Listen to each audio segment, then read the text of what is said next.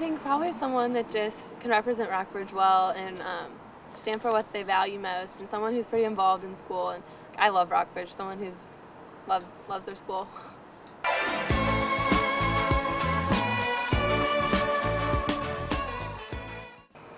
Probably, even this past year, I feel like I should know the school pretty well, but just the first couple weeks of school, going into the wrong classroom multiple times in a row, it's kind of embarrassing.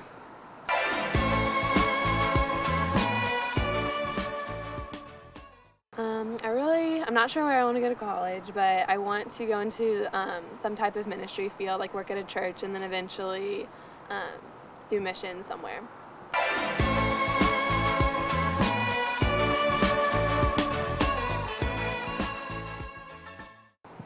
Probably, even though I'm, I'm only involved in cheerleading, I can get pretty competitive in other sports, and I really enjoy um, like wakeboarding and snowboarding, things like that. I feel like people don't really know that about me.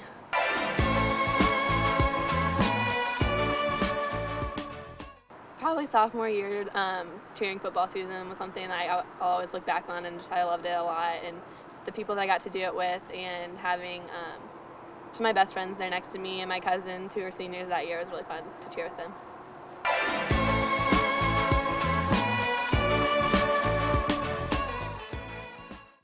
Alex Henderson is my escort and he plays basketball. So I got a basketball and wrote be my escort on it and had it sent to him in class. So I just thought I'd embarrass him a little bit and I think it worked.